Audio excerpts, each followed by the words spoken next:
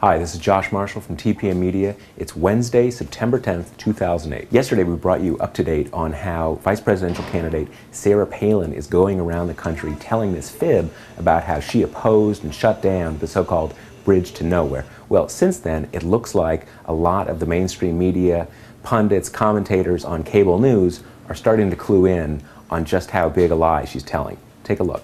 But with celebrity comes scrutiny, like her claim about killing that bridge to nowhere. I told the Congress, thanks but no thanks on that bridge to nowhere. But when she ran for governor, she supported the bridge. Palin likes to burnish her reformer credentials by pointing to her opposition to the planned quarter billion dollar bridge to an Alaskan island with fewer than 100 residents. She fails to mention that as a candidate for governor, she was in favor of building the bridge.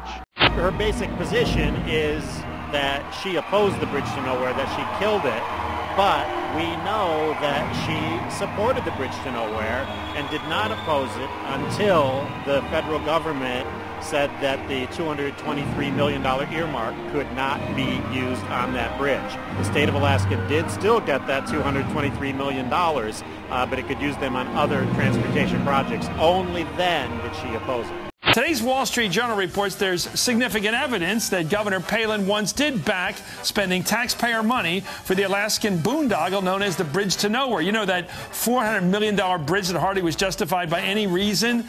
Yet here's Sarah Palin out on the campaign trail claiming again and again that she opposed that infamous Bridge to Nowhere up in Alaska. I told Congress, thanks on that bridge to nowhere. Thanks, but no thanks for that bridge to nowhere. Thanks, but no thanks for that bridge to nowhere. Thanks, but no thanks on that bridge to nowhere.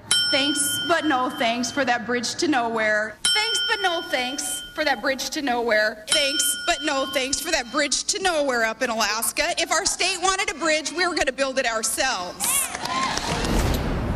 Is she imitating the action hero doll there? Anyway, there she goes again. Palin's touted her not exactly true claim of opposing the bridge to nowhere at least seven times since being picked as McCain's running mate. Pretty much every time she's spoken about her experience as governor. In fact, exactly the same words every time. Seven times she said she fought against what the record shows in the Wall Street Journal she initially supported.